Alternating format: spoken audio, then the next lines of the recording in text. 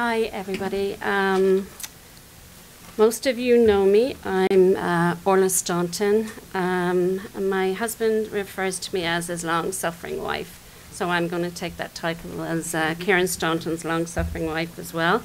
I'm um, co founder of End Sepsis and also I am the executive director of the foundation. Um, just just to the Davis in it, it's World Sepsis Day. And I just wanted to take a moment to acknowledge the human cost of sepsis um, that I have experienced and that many people here have experienced, including Anne Cheskeen, who's traveled here from Arizona, whose beautiful young daughter died three, three months after getting married, Katie. Um, there are sepsis survivors here. Um, as a group of people, we talk differently than, than you know, I've heard, I've heard here this morning. We cry a lot with each other. Um, we, we talk about how we weren't listened to. We talk about how our loved ones were not treated properly. We talk about how we never knew about sepsis.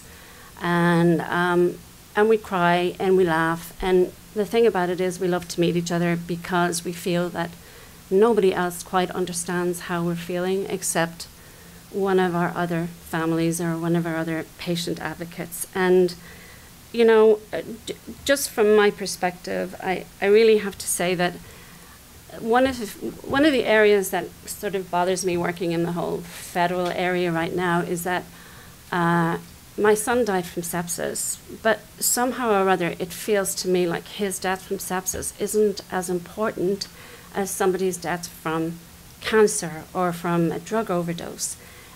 And that really, really gets me because we all shed the same tears and we all tried our best to save our loved ones. And to feel like, you know, there may be a pecking order there just doesn't sit good with me because when I meet other parents, um, one of my best friends, her, her daughter died from an accidental drug overdose. We have no pecking order we meet, we talk, we love, we have sorrow, and we talk about what we can do to change the world to make it better. So on World Sepsis Day, I really just want to give a shout out to um, to the wonderful patient advocates that are out there that get up out of bed every day and say, you know what, I want to do something. I just don't want anybody else to experience what I experienced. So um, one of uh, when, what I'm going to do now is um, introduce you to April Chavez, who um, is a member, is now actually a board member of End Sepsis. Um, April is from Texas, and she's here with her son. Oh, sorry, no, excuse me, her son, her husband, Shay, today. Um, April um, and I met through a, a, a, harrowing birth experience that April shared with me um, that she went through with her young son. Um, she, April is a survivor of maternal sepsis, and as you know, maternal sepsis is the second leading cause of death in pregnant women. Um, I don't know. The, the, story that April will tell you is just absolutely horrendous. Uh, it's, a, it's a story about how she wasn't listened to. It's a story ha- about how she pleaded for help. It's a story about being spoken down to in that, you know, you just had a baby, get over yourself kind of stuff. And it is a story that I've heard over and over again from patient advocates. So um, April has done an awful lot of work in the short time that I've known her. She's joined our board. She's also engaged with Mama's Voices, who you know are an amazing organization. And she's also part of um, an NIH supported uh, study on maternal sepsis. So this in addition to running her, her life and uh, I, I'm just, you know, completely full of admiration for this woman and um, I would love you now to experience what I experienced talking to her. This is April Chavez.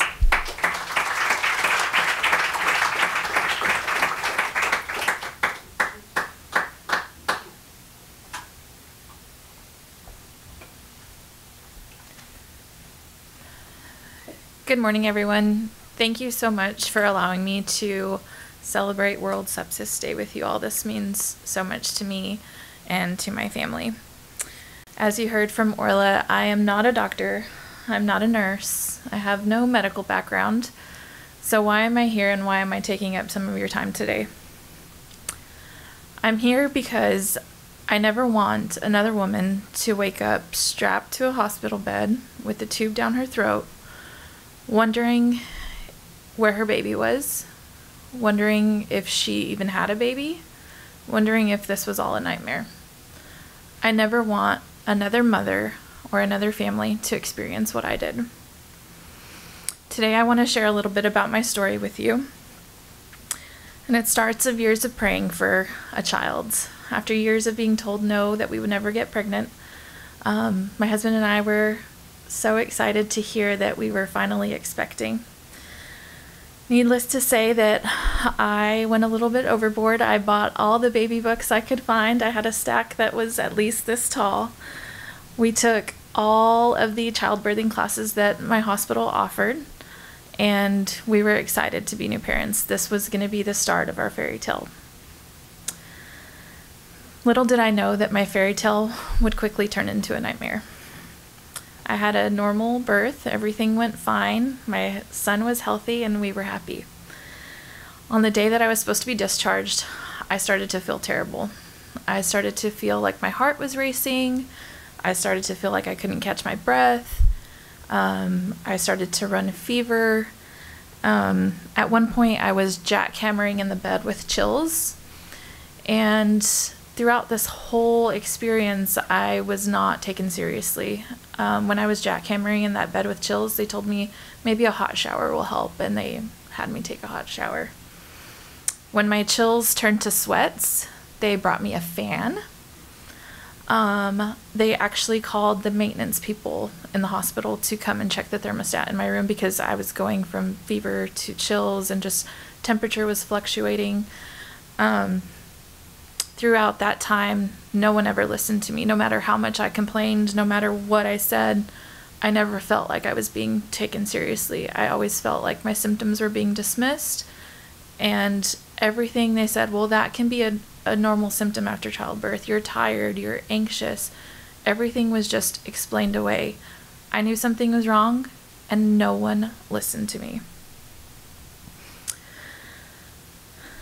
The biggest thing that I think hindered my care was they convinced me that I was just anxious about being a new mom. They said I had anxiety and I had struggled with anxiety about 10 years prior to this, so I thought, well, maybe I am just anxious at that time. I didn't know what all these signs and symptoms were. Um, one doctor even told me that I was being crazy and I needed to stop. At that time, I had no idea that those symptoms were signs, urgent maternal warning signs, or signs of sepsis. I had never heard the word sepsis before. I had to trust doctors who sent me home with anxiety meds and told me I would feel better once I got home. Only I went home and I didn't feel better. I continued to grow sicker.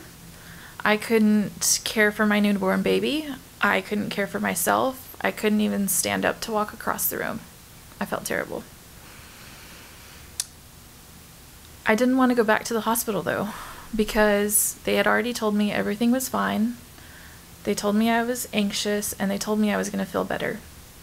But my mom convinced me. She said, You have to go back. There's something really wrong. And I remember driving there and I said, They already told me I'm I'm just anxious. Maybe I am. And I said, What if they tell me I'm crazy again? Because that's what they had told me when I was there the first time.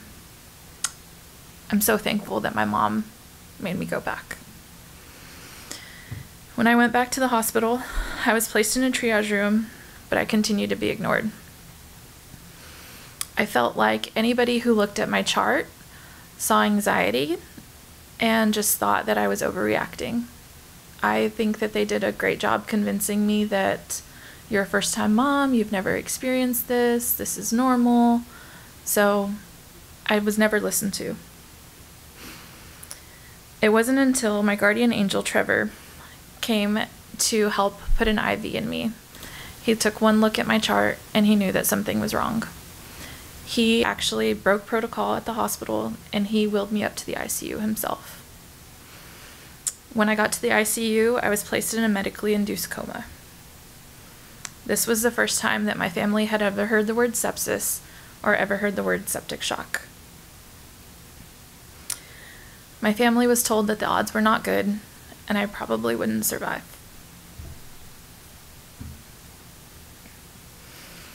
They told my mom to call loved ones to come and say goodbye.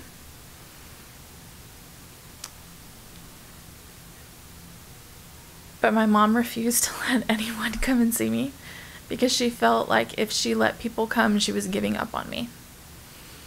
So my family continued to pray, and I continued to fight.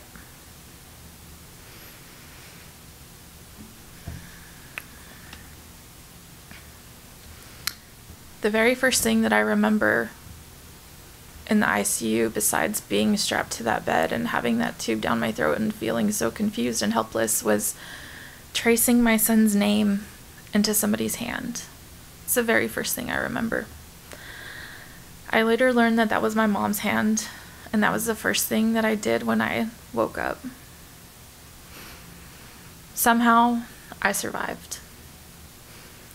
Doctors tried to explain to me that I had developed an infection of an unknown source and was suffering from septic shock.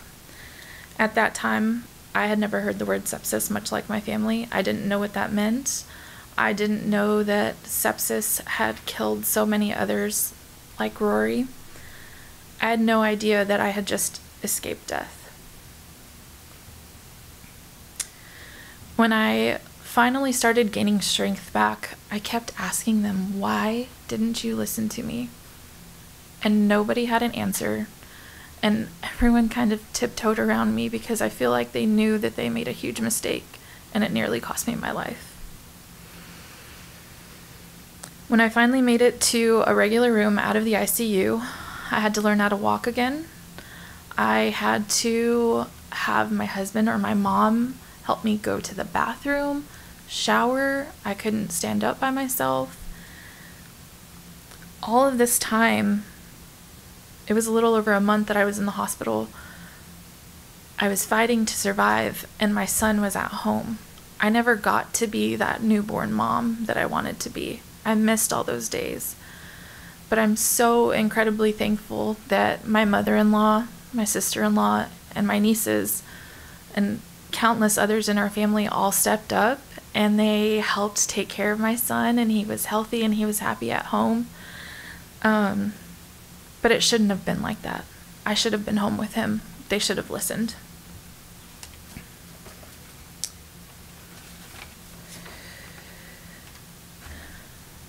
After I was discharged, I actually developed blood clots and had to go back to the hospital again, so I missed even more time.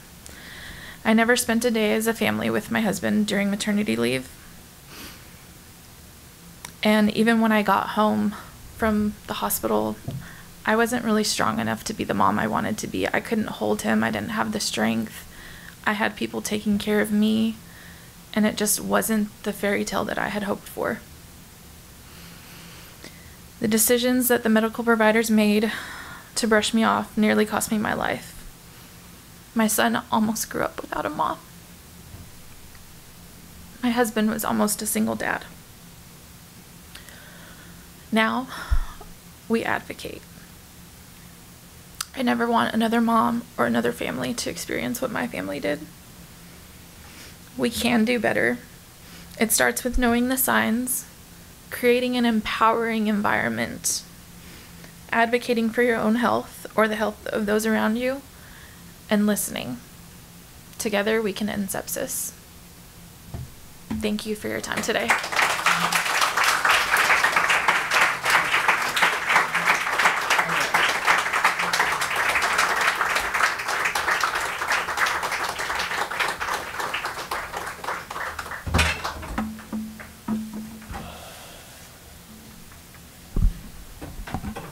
And that, ladies and gentlemen, is why we're here.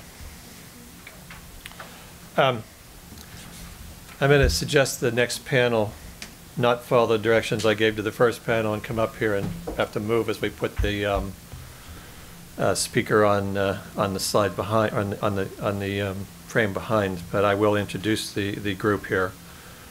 Uh, next coming up, we are going to go into new, da new data, new ideas, and natural approach to quality improvement with leaders in the field.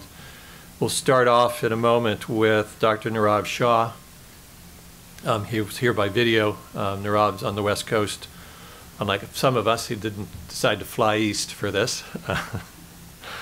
Um, But just as committed. Uh, Nirav was the Commissioner of Health um, at the time, Dr. Gesten's boss, um, at, at the time that Rory's regulations were created in New York. He is now also a senior scholar at Stanford University and the co-chair of the End Sepsis National Sepsis Initiative Expert Panel. Um, In addition, in the, in the panel, we have Dr. K- Kedar Mate, I think I'm pronouncing that correctly, but he'll correct it if I'm not, um, who is the president and CEO of what we know as IHI, the Institute for Healthcare Improvement. We've already heard reference to Dr. Hallie Prescott in the earlier discussions when Orla talked about the work and the CDC talked about the work. We'll hear from Dr. Prescott herself uh, as part of this. She is an associate professor at the University of Michigan and co-chair of the Surviv- Surviving Sepsis Campaign Guidelines. And then a long-term colleague of mine and good friend, um, Dr. Peter Silver, who is the Chief Quality Officer and Associate Chief Medical Officer at Northwell Health. Pete is also advisor to the Children's Hospital Association Improving Pediatric Sepsis Care Outcomes um, as a pediatric intensivist his entire life, and also a member of the uh, National Expert Advisory Group. Um, Actually, if I could, I should probably be moving slides myself here. Um, Yeah, maybe not. Um, Could we start with Dr. Shah's video? Hello, my name is Nirav Shah, and it's an honor to join you virtually for this session on quality improvement in sepsis. I've titled my remarks Using Synthesis as a Strategy, and so I hope it all comes together by the end. So let me begin. Humans are tribal. We like to classify and look for differences, often focusing more on the edge between one thing and another, rather than looking at the whole together. The practice of medicine itself has followed that trajectory, moving from generalist to specialist to a stage now that entire physician societies are subspecializing even further. While this has led to enormous advances in our understanding of human condi- conditions and diseases, some things have been lost in the process. Especially for complex conditions, that paradox of complexity is that splitting doesn't always lead to better answers. And it also applies to many things around sepsis. Let me give you a few examples. First, our initial approach to understanding sepsis focused on trying to identify and treat sepsis early on in the emergency room and hospital. CMS published a set of measures in 2015 called SEP1. SEP-1 focused on measuring and reporting things like time to antibiotics. And since then, we've better understood the natural history and course of sepsis, not just early on in the emergency department and day one of the hospital, but beyond, extending even to discharge. That broader perspective shows us what else is important. For example, the context of that hospital, its various workflows, and the sophistication of the staff using sepsis protocols matter a lot. The characteristics of the community and the population being served also matter. Another criticism of SEP-1 is that it focuses too much on processes such as time to treatment. That is, the inputs rather than the outcomes, like did the patient survive as a result of all those inputs? In fact, CMS's new sepsis mortality measure is an attempt to address that limitation. So when it comes to CMS mandated measurement, it's not an either or. It's not about process or outcomes or inputs versus outputs. It's a both and. In fact, as Dr. Foster Gesten has written, it's about process and outcome and structures that lead to the best results. Let me give you a second example of using synthesis as a strategy. We used to think that by focusing on giving antibiotics early, you may be giving them to many patients who possibly don't need them, and as a result, increase rates of antibiotic resistance. That is, by measuring time to treatment, it would lead to unintended consequences of increased antibiotic resistance. Vincent Liu of Kaiser Permanente and Hallie Prescott of Michigan have shown us that is not the case. That is, there's a false dichotomy between time to treatment and the rise of superbugs. We can have our cake and eat it too. A final example of synthesis as a strategy relates to the rise of technology in treatment.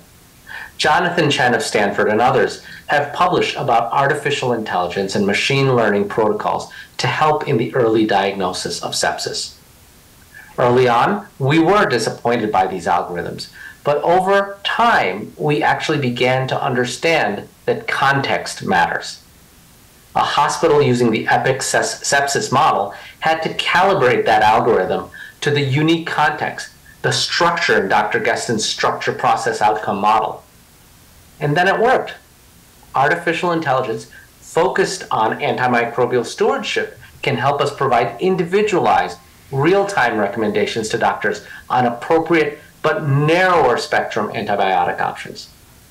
So it's not about computers replacing humans in the early diagnosis of sepsis. It's computers augmenting clinical judgment. Another and instead of an or. We're lucky today to realize the benefits of synthesis as a strategy, first with the 2021 Surviving Sepsis Campaign Guidelines, and just last month with CDC's Hospital Sepsis Program Core Elements. The 2021 guidelines span eight domains of clinical practice, while CDC's approach describes seven core elements such as leadership, accountability, tracking, and reporting. Both of these efforts are the summation of the learnings of the past decade, taking the best evidence and making it actionable for hospitals, administrators, and clinicians. We owe many thanks to Ray Dante, Arjun Srinivasan, Hallie Prescott, and numerous others across the CDC, CMS, and the universities who helped make the core elements a reality. Now I'm going to play Monday morning quarterback for a minute. One of the core elements is about accountability having two or more people like a doctor and a nurse accountable for program management and outcomes in a healthcare system. My quibble is with the word accountable. I don't want to be held accountable. I'd rather they take on being responsible. Not that accountability is bad, but when I think of accountable, it comes from a fear driven place versus responsible to me is more internally motivated. Being responsible is more active and engaged. It suggests you are capable. And responsibility can be shared, accountability cannot. Ultimately, being accountable versus responsible boils down to being a taker versus a giver. When you're accountable, you need things to get to a certain place. You play to the test and you look to maximize your resources to achieve a certain result. And maybe the bar was set too low. When you're responsible, however, you're driven by a higher purpose. And collectively, you come from a place of abundance that will help all boats rise together. Being responsible requires sharing and results in good karma. But I digress. Let me end with why we are all here. It's been seven hours and 15 days and 11 and a half years since we lost Rory Staunton to sepsis. What Rory has taught me is that in that time, there's a great power of interdependence, the both and, the synthesis that can emerge from the dialectics that we face each day. He's shown me that the sum can be greater than its parts, and that when we share responsibility, real progress can be made. Thank you.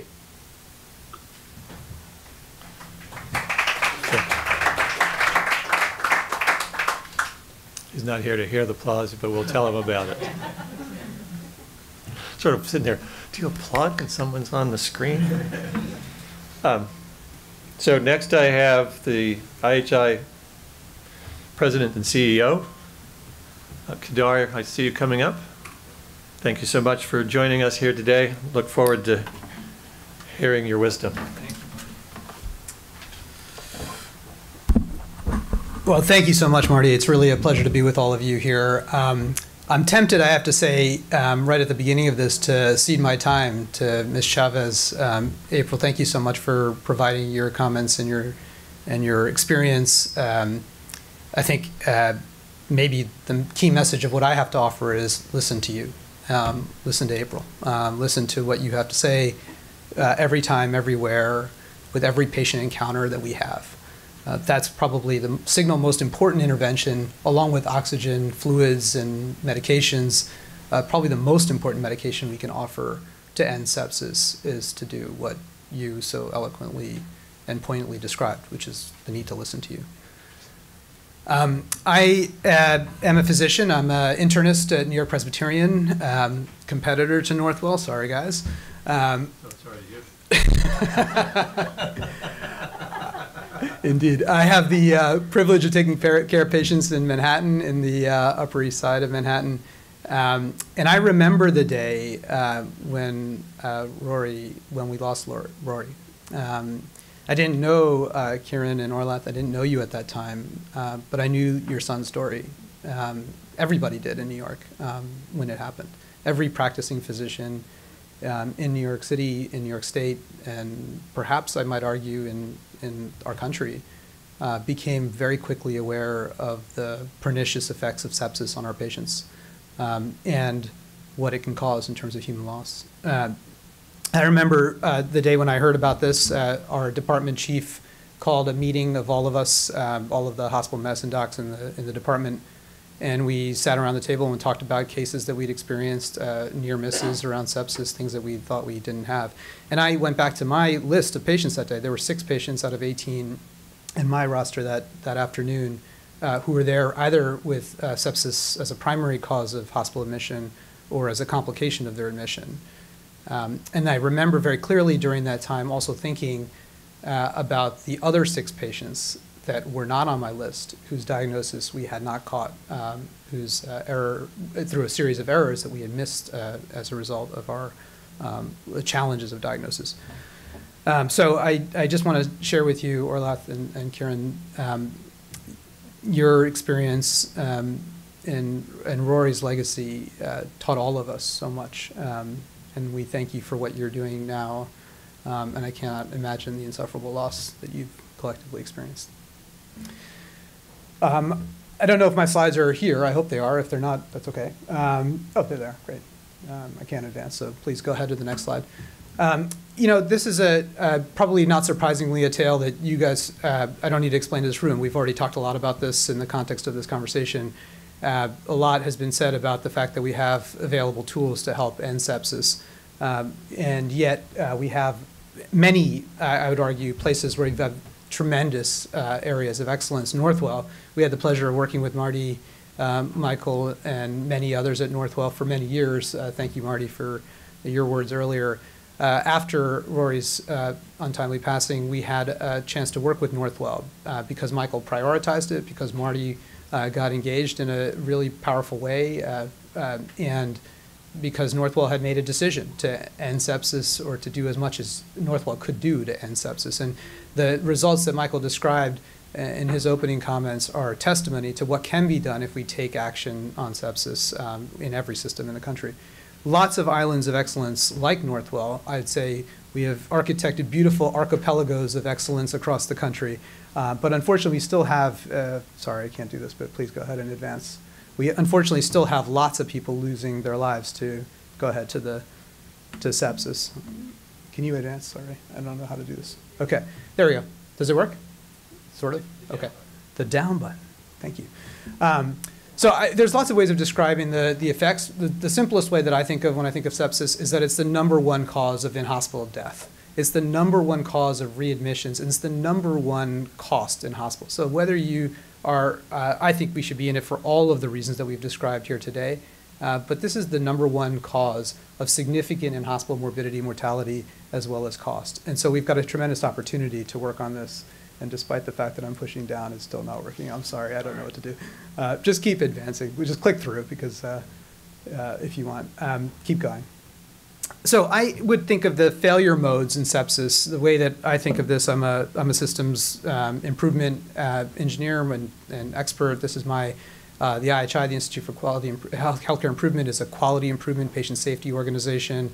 We work on thinking about how the problems that happen are not necessarily simply due to human failure, but the fact that we haven't produced systems that are capable of uh, tackling sepsis consistently every time. So I think of three primary failure modes or problems, one of recognition, the other of reliability, and the third of scale. And if we answer those three problems, we have a chance at ending sepsis. But fundamentally, sepsis is a socio-technical problem. By that I mean it's a technical and a social problem. So we have lots of technical solutions, some of which have already been elaborated. I won't belabor them. But we also have significant social challenges on this. Uh, problems like climate change, uh, the spread of disinformation or misinformation, these are socio- other similar socio-technical problems. They have technical solutions, but they also require social changes. If you go to the next slide for a second, you'll see that what we need for socio-technical problems, as they're called, are similarly suited socio-technical solutions. These are uh, a, sort of a simple way of describing a socio-technical solution is that it's person-centered. It minds the story that April uh, gave us. It, it makes it centers the person, the patient, and and in some cases the provider in the solution. It solves the right problem, and it does so thinking about systems, not just about individuals. And it does through so through a learning method, a learning model, so that we iterate it through cycles of change, ideas um, for what we could do differently quality science, the, the area that I'm uh, a specialist in, that the Institute for Healthcare Improvement is an expert in, is a socio- socio-technical solution to this problem. But before I get into the features of that, I want to share uh, something that I think Dr. Cardo mentioned in her remarks earlier. Um, this notion that we have to not just uh, focus on the technical, but we have to believe that there is actually a, a solution out there. So if you go to the next slide for a second, uh, just a short detour into a different kind of socio-technical problem, and that's the problem of car traffic accidents, and comparing that to aviation accidents. Um, in the 1980s and 1990s, uh, we had about 2,000 people die every year in aviation accidents. Today, that number is infinitesimally small. It's 0.01. Um, and so every year, about two people die in commercial aviation accidents. So it's much, much, much smaller than that. Compare that to uh, what happens to road traffic today. Today, driving a motor vehicle is one of the riskiest things you can do in the country. We suffer uh, in, a, in about a, annually, we suffer about 40,000 lost lives in traffic accidents every year. Um, and it's very interesting because we believe that this is just a feature of our roads, a feature of our traffic systems. If you read the papers about this, um, it's almost as if loss of life through motor vehicle accidents is a weather pattern, uh, inevitable in our society, something that's immutable and unchangeable. In some ways, that was the way that aviation was 20, 30 years ago, as if dying or having people lost uh, to aviation accidents was a feature of the system. Um, what can be done about motor vehicle accidents uh, is been done in many countries now across the world. Uh, Canada, the Netherlands, Belgium, the UK have halved motor vehicle accident deaths because they believed that they could do something differently. They believed that motor vehicle accident death was not an inevitability, but it was in fact something that could be cured. So they put in traffic circles, traffic calming lanes, et cetera. We've done that here in the United States. In New York City, uh, to credit New York with another thing. I'm sorry, this is like the New York Love Fest. But to credit New York with another thing, they've reduced traffic accident deaths by 34% in three years because they've put in place uh, traffic speed limitations, speed bumps, uh, traffic uh, calming, what they call traffic calming areas. I don't really know. I'm not a I'm not a transportation engineer, so I know nothing about this. But it's pretty amazing what you can do uh, when you actually set your mind to doing it in healthcare, I remember about two decades ago, when we put patients on a ventilator, um, we accepted a certain rate of harm associated with a ventilator. We believed that when you put an endotracheal tube into a patient and you put them on a, hook them up to a machine to ventilate them, that a certain number of those patients would develop a complication known as ventilator-associated pneumonia. We believed that that error rate or that complication rate was about 10 in every 1,000 patients that we intubated. This was 20 years ago.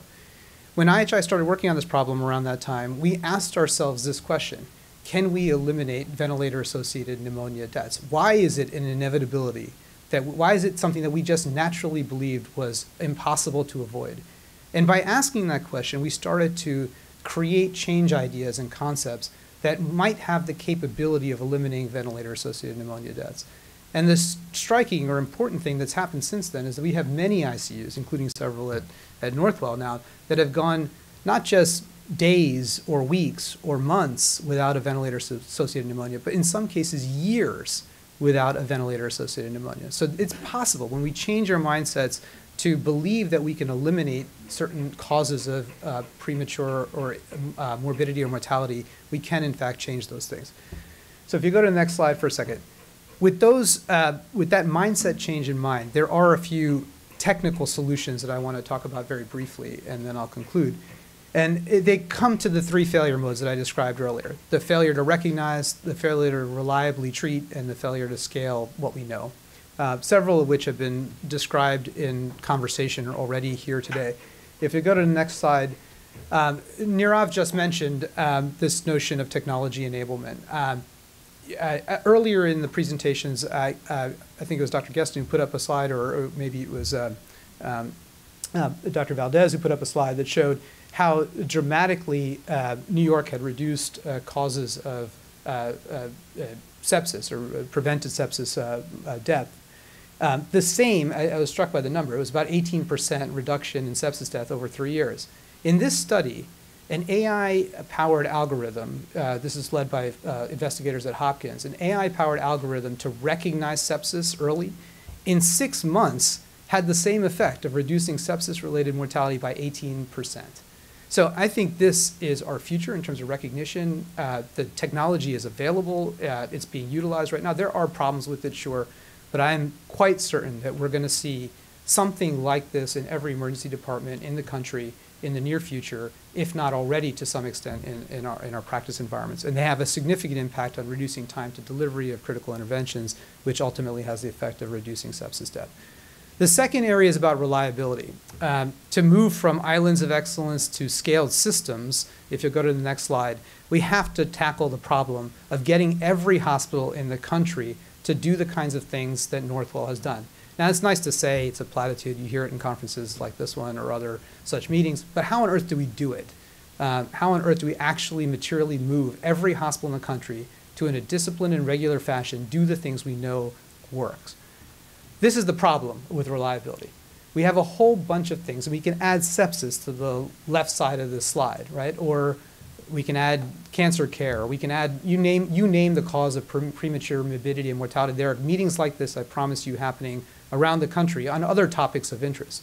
The problem is that we filter those priorities to the frontline caregiver, in this case, a nurse at the front line, and ask him, her, or they to do the things that are necessary to get done reliably as if each of those priorities is a separate thing that they need to do every day. Now, imagine there are about 10,000 ICD codes. I think there's 100,000 actually, but like 10,000 material ones that we use on a regular basis.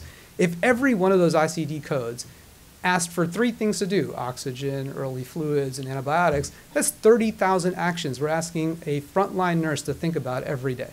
That's an impossible human conundrum.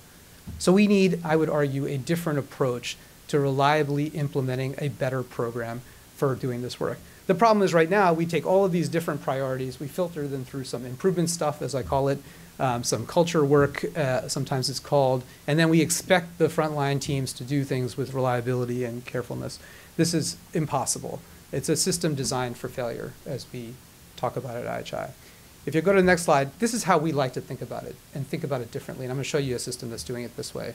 Um, instead of operating the way that I just described with a series of priorities pushed to the front line, the front line needs to be describing what they need. And then we need to give them an operating system to enable their work so that they can produce outcomes, as we've talked about here, that are consistent with the quality, safety, equity, and value goals that we have for our system.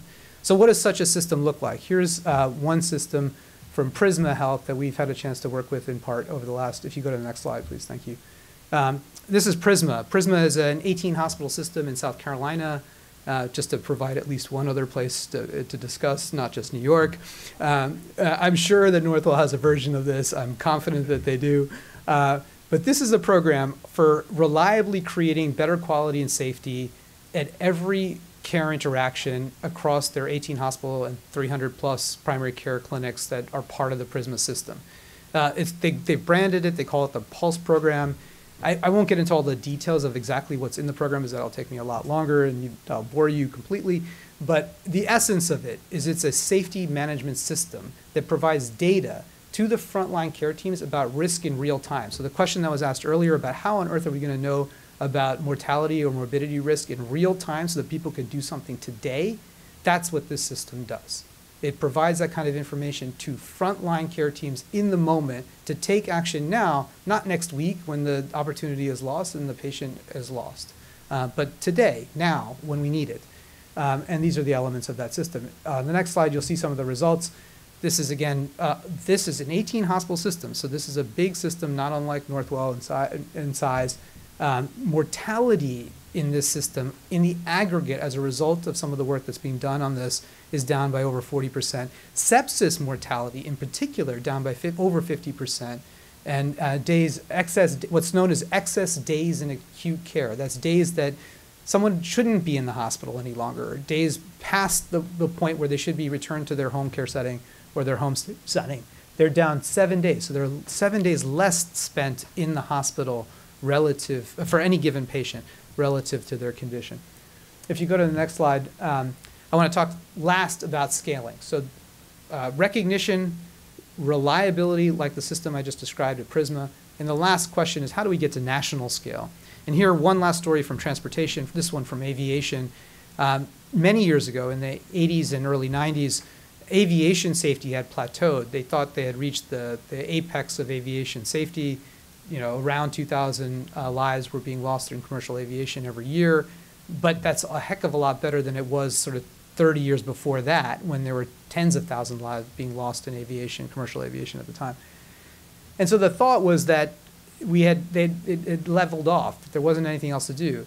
But this is where a very important public-private partnership uh, became came into effect. It was the leadership of the FAA at the time, together with all of the commercial aviation operators, uh, uh, United Airlines, Delta, you know, et cetera, um, and their precursors. Um, they came together along with the manufacturers to establish something called the Commercial Aviation Safety Team. And the premise of the CAST, as it was known, Commercial Aviation Safety Team, the premise of it was to share data. The incident rate of any particular tragic aviation event was low, relatively low for any given uh, operator. But put together, they could amass sufficient data to actually provide comment on any given on the risks that were present in aviation at the time. And if you just click for a second, this is the effect of that. After they thought they had plateaued in aviation safety, from that point forward, they further reduced uh, safety in commercial aviation by 83%, to the point now where we only lose around two lives every year um, in aircraft uh, related issues. Um, and so it is, in fact, much, much, much safer to travel in an aircraft than it is in your car, as it turns out. Uh, so we need something like this in healthcare. We need a healthcare version of the commercial aviation safety team, a public-private partnership. The agencies at HHS, thank you all for being here.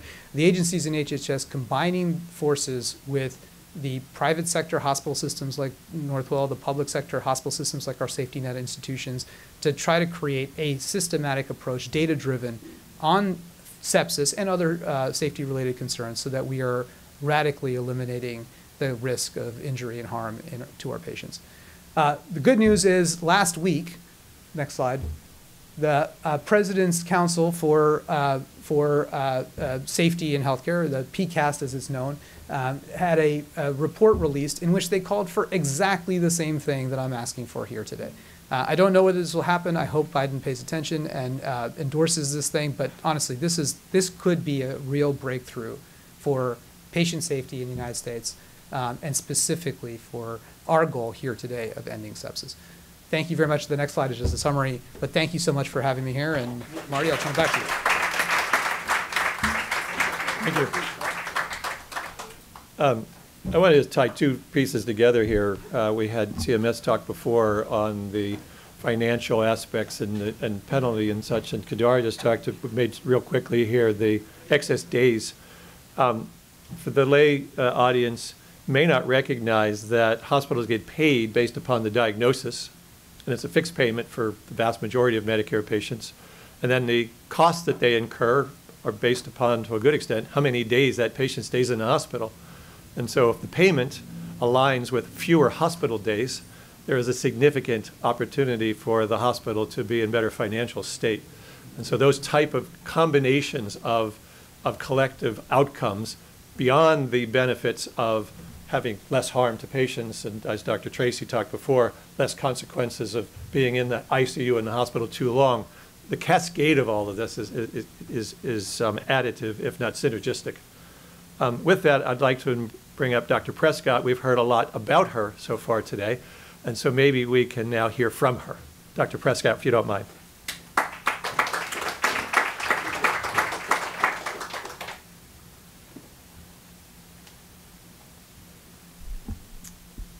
Great. Well, it's really um, an honor and a pleasure to be here today.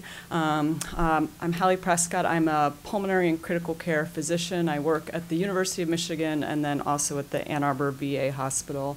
Um, and today I'll be talking about HMS sepsis. This is a statewide um, quality improvement initiative in sepsis, and so I'll tell you kind of our story um, as a, you know a potential model of what can be done in other states. It's not New York. It's not New York. Um, so I have no financial conflicts of interest. I have pertinent roles you've heard about. I lead this initiative. I'm also co-chair of the Surviving Sepsis Campaign Guidelines. I have funding and salary support for research and work related to sepsis. Um, and then the HMS Sepsis Initiative specifically is funded by Blue Cross Blue Shield of Michigan. Um, so in terms of the outline, I'll talk about the Hospital Medicine Safety Consortium. This is kind of the broader framework uh, within which the Sepsis Initiative lives. I'll talk some more details of what we do with the Sepsis Initiative, um, and then I think key features of our initiative that I think are instrumental for the success of the program. Um, so the Hospital Medicine Safety uh, Consortium is one of about 20 collaborative quality initiatives that's funded by Blue Cross Blue Shield of Michigan. This is part of their Value Partnerships program, essentially money that they invest to try to improve the quality and also reduce the costs of medical care in the state of Michigan. Um, these programs have been going on now for over 20 years, um, and you can see a lot of them relate to sort of surgical or procedural care, but sepsis lives within this um, hospital medicine safety that focuses broadly on improving care and outcomes in hospitalized medical patients.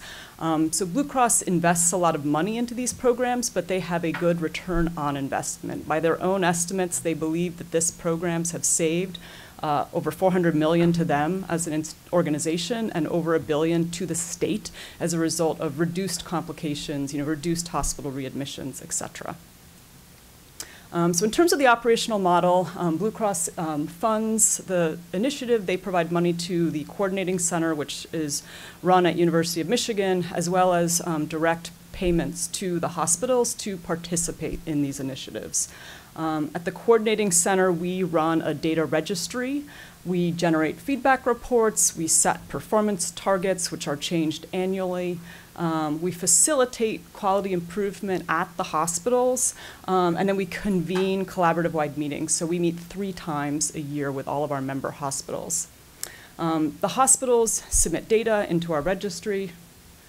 Um, okay uh, receive performance reports, implement local quality improvement, and then share their challenges and also their successes at our collaborative wide meetings so hospitals really across the state of Michigan can learn together to learn what works and implement that in their hospitals.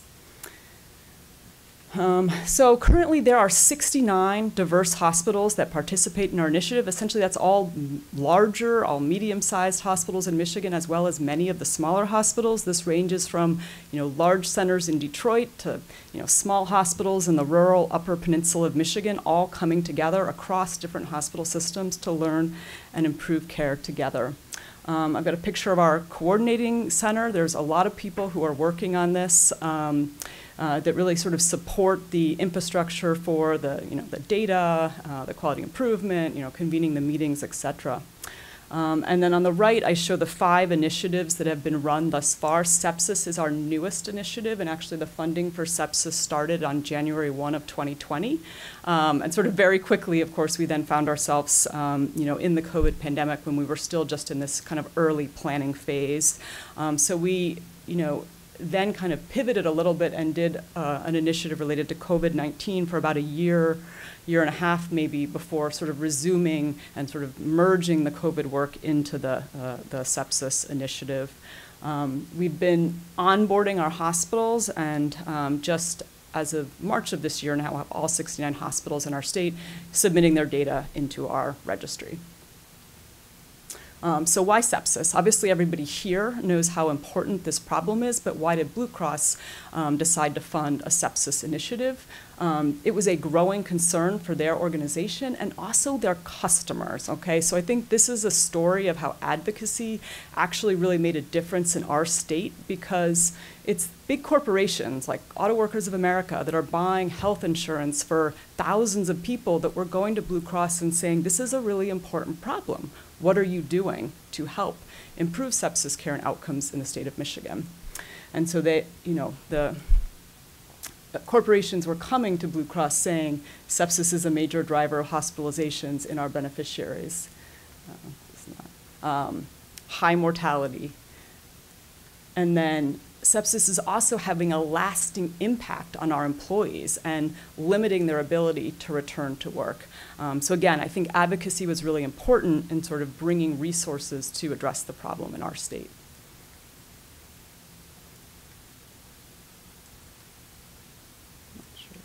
Okay. Um, oops. So how do we identify sepsis hospitalization? So we use a two-step process. Um, we identify potential hosp potential um, hospitalizations for sepsis based on like a broad number of diagnostic codes. That includes, of course, sepsis, but also other infections like COVID and flu. And that's because we know that there is variable recognition and labeling of sepsis across hospitals and also over time. And so we want to have sort of a standard and consistent definition across all of our hospitals. So we sort of pull in a broader group of hospitalizations and we then apply the CDC surveillance criteria to identify a consistent set of hospitalizations across all of our hospitals. And so a random sample get abstracted into our registry then for the purposes of performance evaluation. Um, so what do we measure? We've heard a lot today about the three pillars of quality improvement, structure, processes, and outcomes. Um, and we look at all of these things. So we measure structure through a twice a year um, survey to our hospitals where we ask questions related to their policies, protocols, services, staffing to understand what's happening. Um, in terms of processes, we get this from the chart abstracted data. Um, and we currently track about 30 different processes of care that are organized into four bundles. So this includes the very early sepsis care, similar to what is measured in the SEP-1 measure, um, but also kind of early care in the first couple days, um, ICU to floor transition. We know transitions are a period um, uh, with increased risk for patient safety events, so we have uh, elements related to that transition. Um, and then peri-discharge care. We've heard a lot about kind of the longer term and lasting impacts of sepsis. We think there's a big opportunity to improve the transition from in-hospital to outpatient. So we have a, you know, a broader focus to this initiative. Um, and I put a, uh, a logo there for the Surviving Sepsis campaign. We really try to lean into processes that have really strong evidence from Surviving Sepsis campaign as well as other guidelines that would be pertinent to patients with sepsis. And then in terms of outcomes, um, we measure this through a variety of ways, um, through the chart abstraction to understand what happened in that hospitalization, data linkages to understand what happens afterwards in terms of readmissions or post-acute, like post-hospital mortality. Half of all deaths in our state in the first 90 days occur post-hospital discharge, so there's a huge or high rate of mortality in that first, you know, month to two months after discharge. And then we also call our patients on the telephone at 90 days. So we collect new disability using the World Health Organization Disability Assessment Schedule. We see about a quarter of our patients reporting substantial new disability, many patients not able to return to work. Um, and then we also collect measures about financial toxicity, um, the sort of impacts directly on our patients' financial health as a result of being hospitalized. Um, so here are just a few slides or a few graphs that show substantial practice variation. So as I mentioned, we've just gotten all of our hospitals on board. This is kind of like our baseline, and as our initiative goes forward, we will work to reduce the variation. But this is a really important piece because it tells us where the most kind of important actionable places to focus our initiative. So in the top right, you'll see antibiotics within three hours of presentation. That's patients who present with sepsis and are hypotensive um, upon arrival or shortly after arrival to emergency department. And each of those bars shows you know, a different hospital in our initiative. So you can see substantial variation and I think room for improvement really across the board. On the bottom is about the type of fluid we're resuscitating with, and on the right are some of the peri-discharge measures. So at the top right, you'll see providing a hospital contact at discharge. A lot of people get discharge instructions that say, oh, if you have an issue, call your primary care doctor, go to 911, go to the ER. But we really think it's important to have a mechanism if you get home and say, gosh, you know, I know they told me I need to take this medicine. Now I can't remember why. It's been two hours since you were discharged. We think there should be a way to get back in touch with your doctors and get those questions answered. And you can see we got a handful of hospitals that are at nearly 100%. They have implemented mechanisms to do that. And then you can see a bunch kind of in that, you know, 30 to 80%. That's because other hospitals are kind of in the process of bringing these systems on board. And we're hoping to, you know, move this across the state. Same thing, outpatient follow-up schedule. A lot of patients are discharged with, oh, yep, you need a whole bunch of follow-up. Please make sure you go and schedule that after discharge. And we think that we can do more to help coordinate that discharge and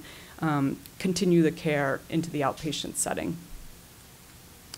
Um, so how do we work to improve performance, right? So a lot of what we do is performance measurement, identifying actionable targets, but now we want to improve care. So we do audit and feedback. We've got a quarterly report. We also have a live website. So as soon as data is in the registry, patients or hospitals can see it in real time.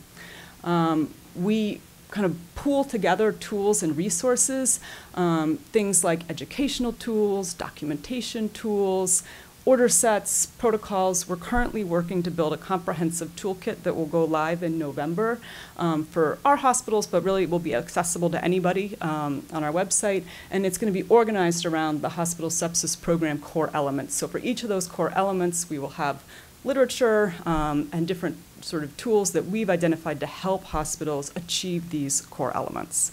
And we're, you know, we're sort of using the diversity of hospitals that we have to identify things that are working in, you know, smaller hospitals as well as bigger hospitals, recognizing that we really need to provide a few different examples of how these things can be done because not all hospitals are the same.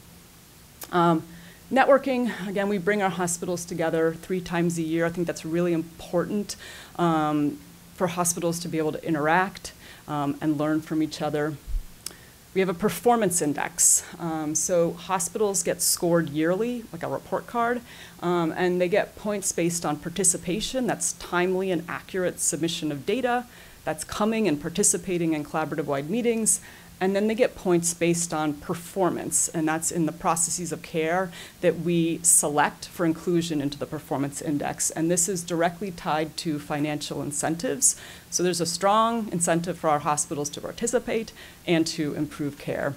And then finally, we do hospital site visits. So this is where we go to the hospitals um, if they're interested, learn about their programs, and make you know recommendations for things that you know they could do um, to further improve their programs.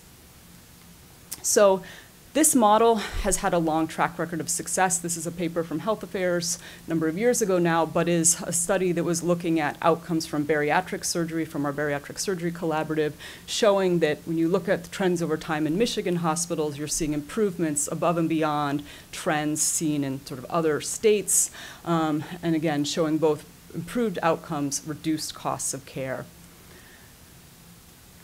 HMS, uh, we have the same thing, so we track these measures over time as we roll out our initiatives. These are data from our blood clot prevention, our intravenous catheter use, antimicrobial use. And so, like I mentioned, we're just getting going with sepsis, but stay tuned because this is what we'll be tracking as we, you know, roll out our initiatives um, and start adding sepsis measures into our performance index for the coming year. Um, so what are the key elements of success? Kind of wrapping up here. I think that there's a number of things. I think it's clinician-led, right? Blue Cross empowers clinicians to run these programs and to set the targets. I think that's important. That's kind of bottom up. Um, we have a robust data registry, right? So we have 30 measures, and the inclusion and exclusion criteria is different for every single one. We can bring a lot of kind of clinical nuance so that people kind of trust the data. Um, we're able to set rigorous performance targets that we update every year because we can look at the distribution and nudge hospitals forward year upon year. Um, we have financial support, so hospitals receive funding that supports the data abstraction and also quality improvement work. Paper performance is a strong incentive, as is the public reporting of identifiable data across our hospitals in our collaborative wide meetings. And then again, I think bringing the hospitals together to network, collaborate, and learn from each other. So key lessons for me, I think this granular local data is so important to driving change. People want to know how their hospital and their state is doing hospitals really need to understand and buy into the data. People often ask, well, why don't you just like, you know, suck down the data from the electronic health record? Um, one of the reasons is I think that it's, it's been really important that our hospitals trust and believe this data and act on it. And so that's been one of the reasons why we haven't yet gone to a model. We kind of use some things to assist with the data abstraction, but there's still a human abstracting that data. Cross-hospital collaboration, really important, I think can speed implementation and learning. And then again, these things take resources, but as I've mentioned, the return on investment is huge. So I'll close there. Thank you.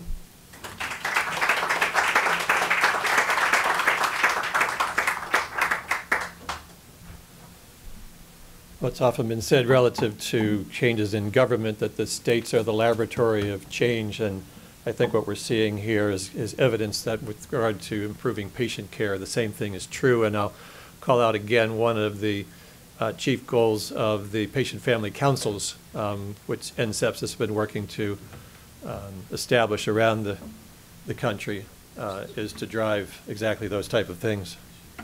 Um, with that, uh, again, I'd like to invite up Dr. Pete Silver, um, who is the Chief Quality Officer for Northwell Health uh, and a pediatric intensivist who has dedicated his professional life to the front lines of providing the type of care that we're seeking to have everybody provide. Um, Pete, thank you. Thank you. I see the top of the first slide is cut off. I hope that's not a recurrent theme. Uh, we'll see. It's uh, was uh, a lot of pictures in here, so it's um, may have been an issue with with the emailing the the, the slide set. So as Marty said, my name's Pete Silver. I'm the Chief Quality Officer of Northwell Health, uh, and I'm a pediatric intensivist. I've been treating children uh, and teens with sepsis for, for 30 years, 12-year-olds uh, just like, just like Rory. Um, I can't help but think that uh, a lot of mentions of pediatric sepsis.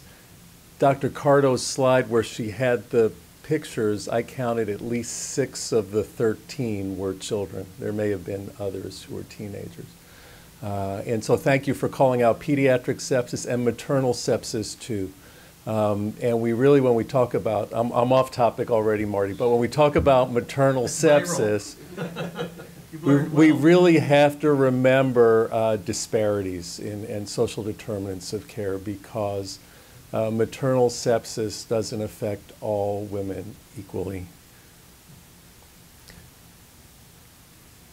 It's the down button. So Northwell, Northwell, Northwell, this is Northwell. Let me just get this out of the way. We are um, the largest health system in New York. Uh, how does it relate to sepsis?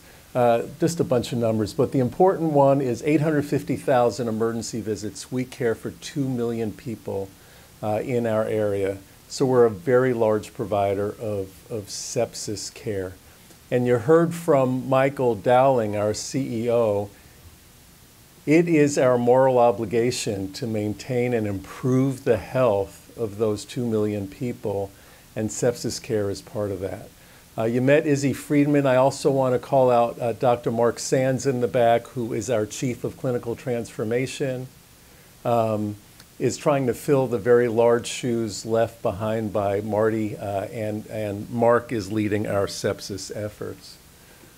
But what I'm here to talk about today is pediatric sepsis, specifically uh, Children's Hospital Association's uh, collaborative on improving pediatric sepsis. uh, outcomes, or what we call IPSO, I-P-S-O.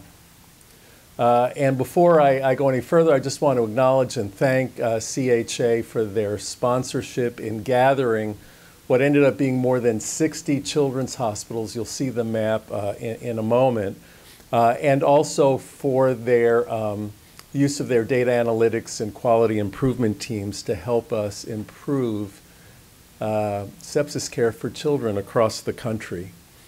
Now, why IPSO? How did we get started? Well, it actually got started when we were working on another collaborative. We were, uh, through CHA, had brought a bunch of children's hospitals, about 40 children's hospitals all together, to move the needle on something else we were told we'd never be able to move the needle on. Uh, Kedar, it's like uh, car accidents, right?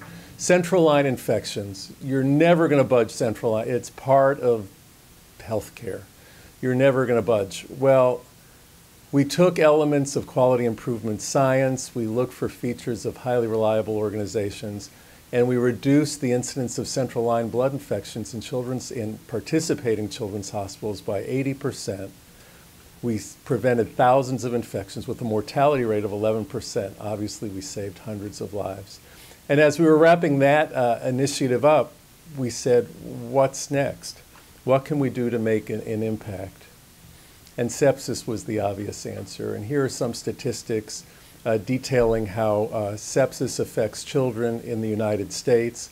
Worldwide, it has an even greater impact. Uh, infection is the number one cause of death of children uh, worldwide. Uh, in the U.S., uh, sepsis mortality rates range depending on. That was me touching the screensaver uh, uh, between 3.7 to 20 percent. We kind of redefined it and came up with a little bit of, uh, of different, um, different statistics. So in 2015, um, uh, in a meeting that was held here in Washington, um, right, uh, it was the day after the Super Bowl with New England, Seattle, right, that crazy interception, I'll never forget it.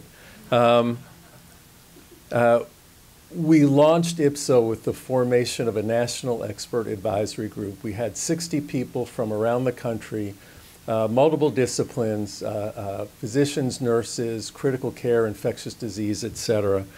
Um, and we um, developed guidance recommendations for the formation of this pediatric sepsis collaborative. And what you'll see is we developed, uh, this was the structure that we developed. We broke it down by care settings. Uh, you see the dark blue uh, vertical columns, pediatric um, uh, uh, emergency department, general care, ICU, oncology. The ones that are in gray are placeholders for future work. And then in the horizontal uh, uh, rows, we have cross-cutting functional work groups. clinical specialists, infectious disease, people who work in all these, um, in all these settings. Uh, surgery, pharmacy, right? Is pharmacy important as sepsis care? You, you bet it is. Uh, respiratory therapy, interventions, data and analytics. And I want to call out the bottom three rows education, right? Look at the difference in outcomes between Sally Quinn's daughter in law, who, when she presented to the emergency room, they were almost expecting sepsis, right? Look at how quickly they treated her. And then look at April's story. And April, I'm just so struck by your story. And lis- listen to April. Boy, if that's, that's lesson, lesson one. Family engagement.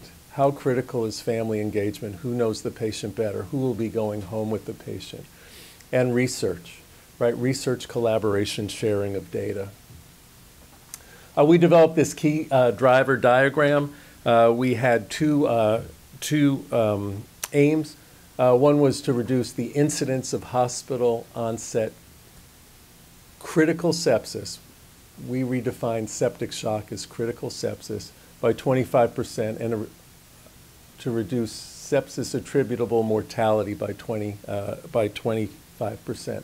Our key drivers were prevention, prevention of sepsis in hospitals, and recognition diagnostic evaluation, resuscitation and stabilization, fluid, oxygen, fluid, antibiotics, de-escalation, right? We've spoken about Uh, antibiotic stewardship, again, another major aim of, of, of the CDC, and, and we've already discussed how the two are not in conflict. We tried to ensure that they weren't in conflict by having an active de escalation process of discontinuing or narrowing the focus of antibiotics. Again, patient and family engagement in optimizing performance. How do we optimize performance? By data sharing, data transparency, right? So all of our sites, there ended up being 62 sites altogether.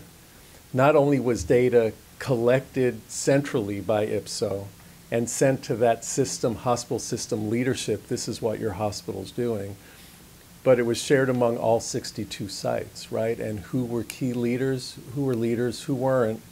And it wasn't necessarily for that competition, but it was who can we go to to give us, who can we learn from? You know, there was just some friendly banter between Marty and, and Kedar about, you know, New York Presby and Northwell. But they're kidding because we know in quality, there is no competition in quality, right? It's all share, all learn. And, and that's how you optimize performance. It's not done one emergency room or one hospital at a time. It, it's best done if we all do it together. We redefine sepsis a little bit differently. Um, in most collaboratives, sepsis is defined by the coding, right? So you all know, right? And if you don't, a, a patient is discharged, the code goes, the, the chart goes, it used to go downstairs, now it's all electronic, but it goes to a coder who's sitting in a dark room somewhere and they go through the chart and they say this was sepsis, this wasn't sepsis based on some of the documentation. But April, you know, when you were in the emergency room, they didn't know you had sepsis, right? When you left, they didn't know you had sepsis. It may not have ever been written as sepsis. So we changed the definition of sepsis. We calling it suspected sepsis, right? If there was a clinician who was treating a patient in the emergency room for sepsis, suspected sepsis. This is a child who has fever, high heart rate, delayed capillary refill and the blood pressure is, is, is low. Whether or not that ended up being coded for sepsis or not, we define that as sepsis. We want to go all out, right? We want oxygen, fluid, antibiotics ASAP, right?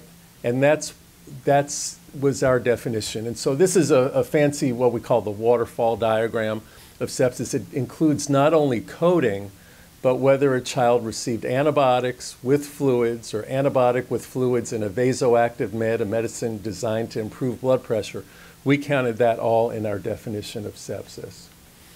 Uh, we've heard a lot about uh, uh, process measures. Our, our bundle compliance, our process measure was recognition, right? Recognition is defined by a positive screen. Our hospitals developed screening tools, many of which were incorporated into their electronic medical record, a BPA, a best practice alert. Again, a child comes in with heart rate, high heart rate, and fever, ping, it comes up on the screen. Artificial intelligence. Maybe there are risk factors involved. It's all a mathematical algorithm, right? A patient with cancer who's been on chemotherapy is at a much greater risk for sepsis than a child who isn't. And all of that's put into the, the BPA for electronic alerts. Once the electronic alert happens, we expect a sepsis huddle, right? The, the, the leaders in that unit, whether it's the emergency room, the ICU, the cancer unit, come together and say, does this patient have sepsis? Yes, no.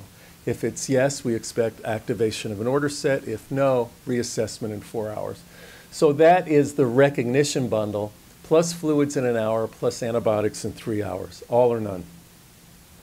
We developed a leadership group, 25 people uh, from our 60 member uh, uh, and you'll see they're cross discipline physicians, nurses, uh, parents, et cetera, and from children's hospitals all across the country.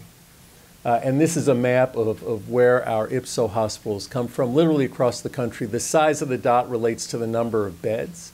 And as you can see, and it was highlighted earlier, it's just as important that we take we, we, we involve this oh I went just as important that we involve the small dots, the small children's hospital as we do the big dots. Because we should try to make we need to make preventable death from sepsis a never event, right? Regardless of the size of the dot that that parent is bringing their child to. Um, this graphic, I, I love this graphic. This, uh, this is a graphic that we developed and, and sent to um, sent to our children's hospitals, really highlighting uh, four uh, four elements of IPSO. And there's a lot. Um, you know, we saw the the today and at the end of August, we saw the CDC core elements for sepsis, and it kind of gave me goosebumps because there's so much overlap between those elements and what what we came up with uh, uh, 2015 mobilize, right? Uh, uh, implement to reduce mortality some of the, the key measures. Uh, uh, measure, not only measure and collect, but submit, right? Be accountable, be not accountable, be responsible, right, for the data. And review those monthly reports, not only individually, but as a collaborative, collaborate being the last, uh, the last column, the last grouping. In IPSO, we meet regularly with our, all of our hospitals. We have uh, uh, weekly office hours. We have monthly webinars to review data, uh, problems, progress, problems. Uh, we have a web-based library. We have semi-annual workshops. We meet twice a year. We're meeting next week in Dallas. Uh, direct coaching and a help desk. Uh, and this is just kind of a, a, a nine-year uh, uh, timeline of our collaborative journey starting in 2015. I'll highlight that in 2019, uh, we demonstrated a 28% reduction in 30-day sepsis attributable mortality. And in 2022, uh, same for uh, mortality due to septic shock. Why did it take so long? It took long because we brought, kept bringing in new hospitals. There were five waves of hospitals altogether, uh, 62 hospitals. We started with 39. And as you bring new hospitals in, beginners, right, they're sort of starting from scratch. So they kept diluting the data down. We didn't care. We just wanted to bring new sites in and, and improve. Uh, and this is uh, uh just pictures of how we collaborate. Uh, and here are our outcomes. Uh, uh, I've already discussed uh, this.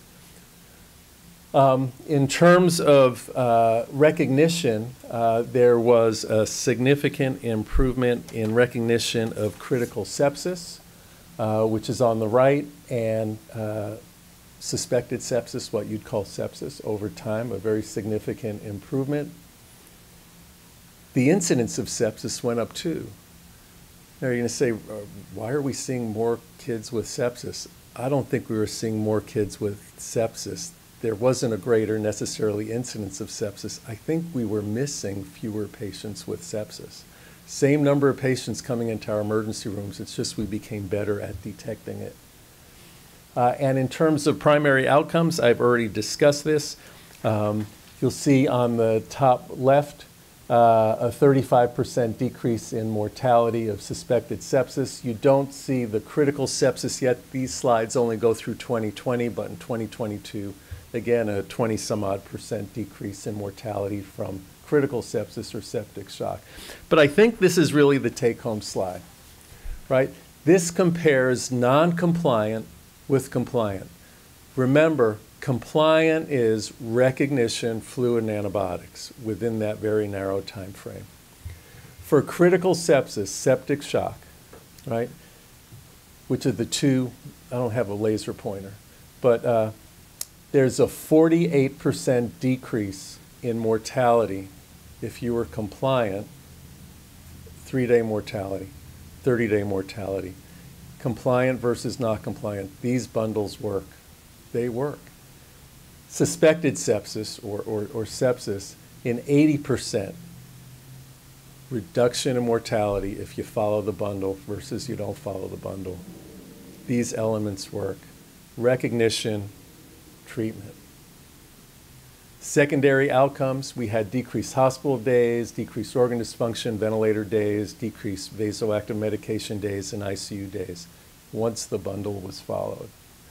And this is just um, in illustration, we, we uh, uh, published many papers out of IPSO. This is just one looking at fluids, showing that patients who were hypotensive, patients, pediatric patients in septic shock, comparing those who got less than 30 cc's per kilo of fluid Remember, the adult bundles say 30, right? So we looked at those who got less than 30, those who got more than 30, and saw there was no difference in mortality as long as they got the fluid within the hour and that they got their antibiotics within an hour.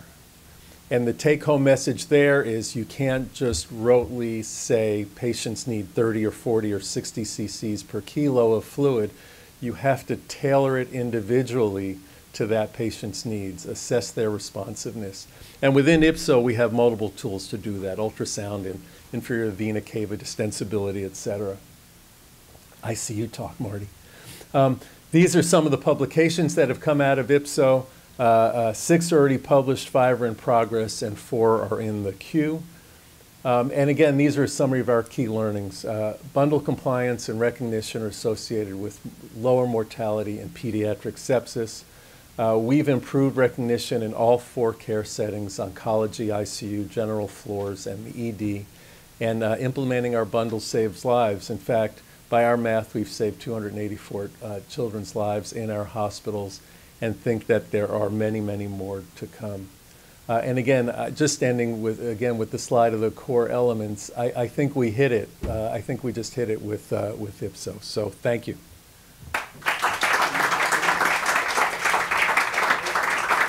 So Pete, if you can stay up here, um, and uh, Dr. Prescott, um, Kedar, if you could come back up with us here for a minute. Um, Little conversation here. Um,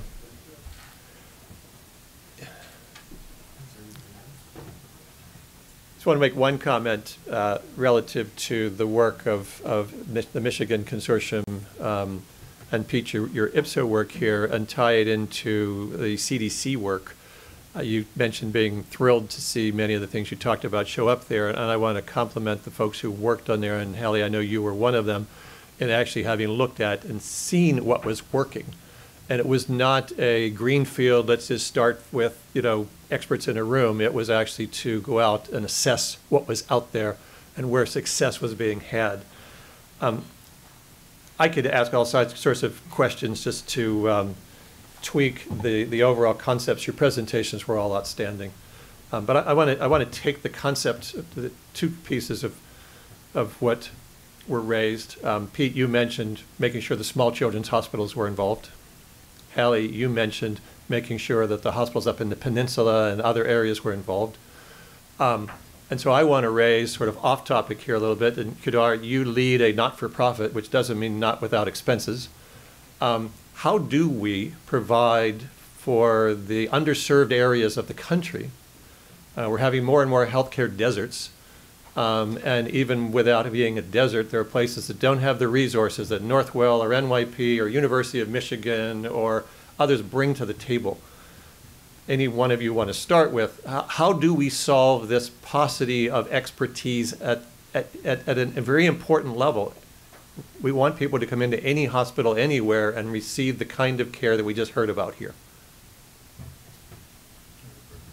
Sure, yeah. I think, uh, I, I mentioned a little bit, we have a, somewhat of a unique funding structure, I think, with our initiative and the fact that Blue Cross pays our hospitals to participate so that they are, it's not just sort of a mandate without resources, they get actually resources to facilitate the data collection and to facilitate the quality improvement. And so I think that's been unique in terms of being able to engage all of the hospitals. Um, and I mentioned sort of we do that um, twice a year survey of our hospitals, and we always ask, you know, would you be able to do everything that you do without these resources, and sort of how important it is. We consistently hear back from our hospitals actually how important it is that their sort of participation is sort of funded or subsidized. So then.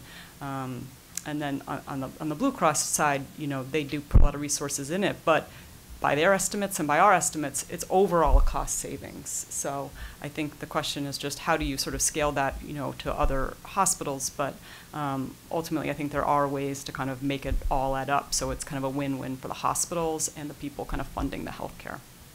Pete?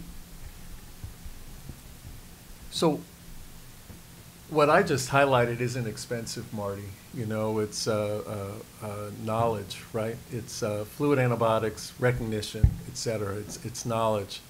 Um, we're not asking every small dot to have um, an ECMO program to treat patients with severe you know, refractory sepsis, et cetera.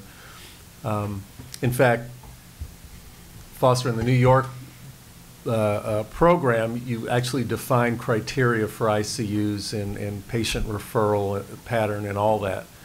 But I think that there's really, even in these deserts, even in those very small dots, there needs to be a, um, a, a basic minimum, right? There needs to be a floor of, of, of quality, of standard of quality that um, doesn't really require ex- expense. It's just a matter of knowledge. Well, the care doesn't require a significant expense, but all the process change.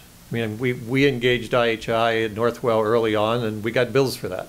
Um, and, and again, I, I make a point, not-for-profit doesn't mean not without expenses. There are We're still- people. We're still charging you for it. Um, And we're probably still benefiting from it. You know, there- there was a lot of, of transformation of knowledge that was a key component of it. Um, You know, and you do have something like Michigan where I presume Blue Cross is a dominant enough player that the state doing well has them do well, but a lot of places are fractionated, and I spend, I mean, hepatitis C treatment, you had a lot of resistance because I'm going to pay for this now, but the patient's not going to experience the, we're not, as a health care organization the country, experience the financial benefit 20, 30 years. They're not my, they're they're not my covered life anymore, putting that in terms. So, sir? So, I mean, I think I have a couple answers to this question. One is uh, that, first of all, I think if we treat, as I said earlier, each condition as if it was something separate from the whole, then we're going to try to tackle these problems individually and not as, in a more systematic fashion. If you put in place an operating system for quality and safety, like I described, it doesn't just handle better care for individuals with sepsis, it handles better care, period, for anyone who presents to the hospital, emergency room, operating room, or otherwise. And so I think that investment, and that's a very real material investment, Marty, but it's not unique to a single condition, um, which I think is important. On top of which are learning collaboratives and such mechanisms, which Pete, you just described and, and you described as well. This idea that you can bring people together in learning mechanisms, either sponsored by a payer or through uh, member dues. I, I don't know exactly how IPSO is funded, but those can be pretty cost efficient to try to create, as you mentioned in your presentation, those are pretty cost efficient to try to produce the impact that we're talking about here in terms of spreading reliably. IHI has done this across thousands of care settings. The, the patient safety uh, campaigns that we ran in the early 2000s reached 3,500 hospitals and health systems around the country, uh, and they were from everywhere. Um, big systems like Northwell, tiny individual safety net hospitals in rural care settings.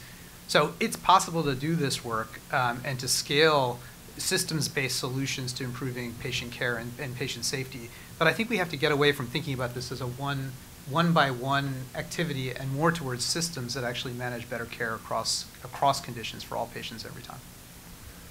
Um, Before I, I'm going to see if there are any questions in the audience and then move us back up. I am going to take this as an opportunity to lobby just out into the ether that one of the things that End Sepsis, in working with uh, Senator Schumer's office last year, tried to do, and I know we're going to try to do again this year, is to get funding in the federal budget to actually put some dollars into helping underserved facilities have some of the resources, not for the care, um, which is already provided for in, in, in the funding mechanisms for care, but to undergo the process change to be able to create a system like Michigan has done, like you're advocating, like Northwell has done, the Children's Hospital system has done. And so part of, again, the advocacy component of this is to bring attention to it and have the employers come and, and be part of this, the payers come and be part of it, but also have some contribution from the legislative structure to help support some of this. Yes, sir, please. Um, Paul Epner with Sepsis Alliance. So my question is, it sounds like there are a lot of wonderful things being done in many places, but I don't see the connectivity between these things. The CMS and CDC, we learned, became aware and now are working through a memorandum of understanding. How do we speed up the cross-organizational, cross-effort learning? Meetings like this are wonderful to become aware of everything that's going on, but there's probably a lot more going on. How do we increase connectivity and accelerate learning? Anybody?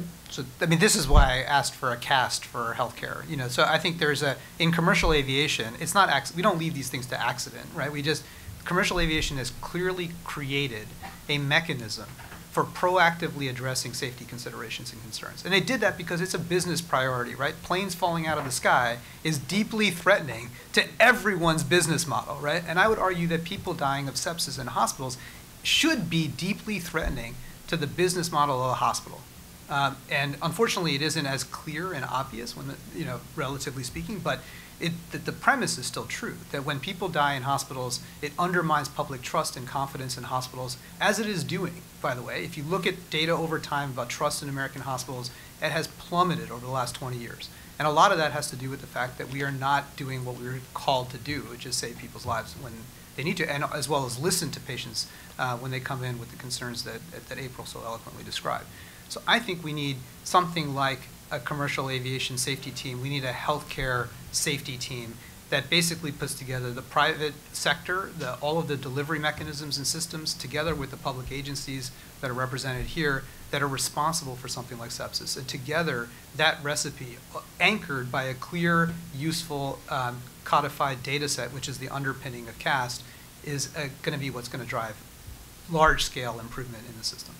One more question, then I'm going to invite Orla back up here to bring us back to ground. Jonathan Romanowski, with Inflammatix, one of the sponsors of uh, the event. Uh, You you mentioned a statistic that six out of 10 patients presenting to the ED uh, were were sort of not not recognized. That That's right. ended up having sepsis, was not recognized as sepsis, that that either by SOFA or or physician surveys. My my question is, you know, we can improve a lot of things, but if we don't have a better way to identify those that are not recognizable, um, we are still going to have a problem. I guess my question is, what are, what, what do you see uh, as tools that can help sort of the frontline workers better recognize those patients that are not easily recognized? Yeah, I mean, I think that's a great point. Um, we've talked a lot in this session about quality improvement, but I do think there's a huge need for more research in terms of diagnostics and also treatments for sepsis. Um, and in terms of, I think we need more clinical trials that take sort of new biomarkers that are coming out and figuring out how do you implement those into clinical practice with some kind of protocol um, and show that, yeah, the addition of sort of existing clinical judgment and existing tools plus this new thing used in this way leads to better patient-centered outcomes or, you know, reduction in, you know, costs or harms or other sort of important outcomes that we care about. So I think there's a huge need for work in that space too. I mean, Pete's, uh, you know, you described uh, Ipso's recognition bundle. Add rec- that recognition bundle, power that with, I think, power that with AI tools, and you've got actually a pretty strong formula for better recognition of sepsis today, at least better than we presently have. Um, and that, better than we presently have, would save tens of thousands, perhaps hundreds of thousands of lives. Uh, so it's not perfect. We will still miss, unfortunately, we will still miss some cases of sepsis, but we will do a heck of a lot better than we're doing today. So I want to thank the panel uh, for a wonderful presentation, discussion here today, um, and ask Orla to come up and uh, bring us back.